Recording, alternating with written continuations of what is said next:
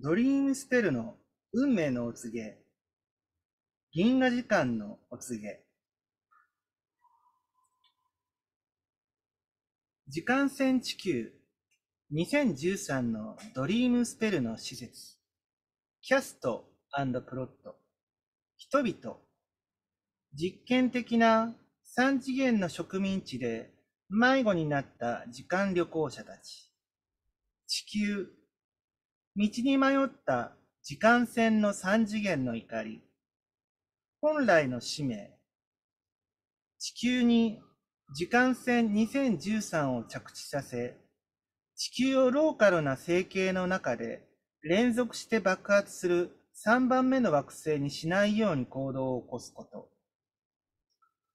本来の施設の目標、銀河の同期、紀元2013年。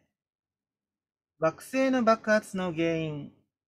三次元の宇宙服に影響を与える記憶ウイルス。ウイルスの結果、三次元と四次元のつながりと感覚環境の接続に関する記憶喪失症を引き起こす。宇宙服の遺伝的な欠陥、ウイルスの起源、ローカルな生形を支配しようとした木星と土星のダブルエージェント、時間の盗賊が時間の入植者を三次元に留めておくために12対60比のビームを地球に向けて放射することによる。背景。施設の指導者たち。銀河の中央の第五の力。工事の次元組織。機能。第五の力。銀河の自己創造の力の種を植えるという目的のために、星の監視と惑星開発。施設の歴史。多くの銀河スピンを投じて、日にちアハウという銃の機動翼を持つ単一の成形の監視がなされていた。基地にアハウは銃の機動翼を持っているために、第五の力を固定させるのに最適だと、最適だと思われていた。かつてこの第五の力が基地にアハウという星に固定されて、その銃のキダゴがチャージされ、活性化したことがあった。以上、キャストプロット。本文。星の惑星軌道がチャージされ、活性化されると、植民地化が必要になる。それは退屈で長期にわたるプロセスで、当初植民地化がルーティン化して進行した。取り決めの要点は、第3と第8の軌道を維持している惑星の間の時間トンネルを確立することだった。これは第1に、第3惑星と第8惑星の両側の軌道が安定化されていなければならないことを意味していた。トラブルが生じたのは、マルベクと呼ばれる惑星が維持している第5軌道での施設があまりにもひどい爆発を起こし、その惑星が小惑星体になった時だった。次の施設、すなわち火星と呼ばれる第4の惑星上の施設も、その惑星を人の住めない赤い惑星にして、自己破壊されてしまった。基地にアハウの状況は深刻だった。トラブルの原因は、第6、第7の軌道を維持する木星と土星を乗っ取ったカウンターエージェントによるものだった。これらのカウンターエージェントは、今や基地にアハウ系の2つの最も大きな惑星を保持していり、第3と第8の軌道の間の効果的な障害物を形成し、時間トンネルの構築を不可能にしている。基地にアハウは、フレレアス星団の周りを回転する一つの孤立した成形ではあるものの、それが完全に働くとき、銀河のこの遠く離れたセンターで宇宙の第五の力の和音を響かせることに貢献する。これにより、時間線地球の施設が基地にアハウを救出する最後の土壇場の策略として決定された。基地にアハウのプレレプレアデス掲示法に従って、時間線2013のドリームスペルの施設は、マイナス23.987ドリームスペルデンに地球上に種を植え付けた。4つの宇宙の根の民のコードを利用して、銀河時間旅行者は自らの三次元の宇宙服に入り込んだ。一重百戦。2万6千ドリームスペル年の間で、時間植民地では、三次元の宇宙服の遺伝プログラミングを利用して、惑星地球で肉体化を続けることになっていた。竜の創世期の間、時間植民地は基地にアハウの混乱の原因と癒しを解放する記憶濃度上で自らを豊かにした。そした猿の創世期の間、13の月の魔術と知恵の洗礼という事前対策にもかかわらず、記憶ウイルスに攻撃された。3187ドリームスペル年に、第6、第7の起動の時間の盗賊が、彼らのビームを発信した。12対60の周波数の記憶ウイルスは、3次元の宇宙服にすぐに効果を、効力を及ぼした。惑星入植者たちは、最初このウイルスを4次元の接続に関する記憶のおぼろげさ、それから語学の感覚の弱まりとして体験した。新刊になりすました地球上のカウンターエージェントは、入植者たちに弱まった五感を埋め合わせるためには、文明を発達させるべきだと語った。失われた魂と語られる彼らの弱まった四次元の記憶を説明するには宗教が必要になった。歴史のドリームスペルが放たれた。銀河の入植者の三次元の宇宙服と四次元のホロンの間にくさびが打たれ、その間が分裂された、分断された。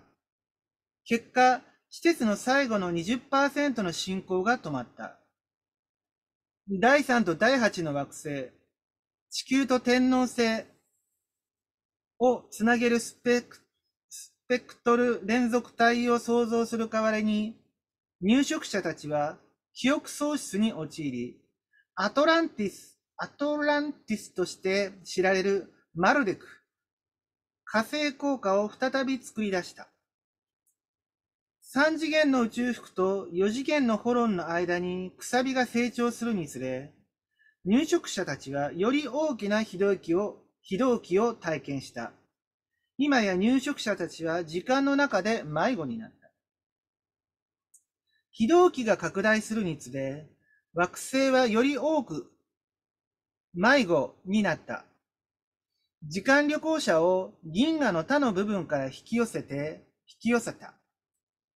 変容の時代である紀元1754年から2013年までは、迷子になった銀河時間旅行者の吸引は壮大な数に達した。地球の人口は膨大に膨れ上がり、1754年に5億人だったものが、1990年には52億人にも拡張された。物質文明は、この指数関数的な成長に直接比例する形で爆発した。記憶ウイルスは、今や幅広く広がった銀河の第五の力は、宇宙の和音の響きの中で、ギニア・アハウが霞んでしまうのを見たくはないので、最後の可能な瞬間に記憶ウイルスに対するワクチンの接種、ドリームスペルを開発した。ドリームスペルは4次元の記憶回路を回復し、記憶ウイルスを取り除く。ドリームスペルを使うことで、あなた方は銀河の通路に波長を合わせ、本来の使命の状態に入り、記憶ウイルスの妄想を解体することができる。1992年7月26日のタイムシフトでは、この使命の完了のために時間軸を準備する最初の段階である。13の月の暦の実施を通して、13の月の力を回復することで、土星で7つの力は抑えられるだろう。それには時間がかかり、ちょっと待って、ご飯でしょうんと。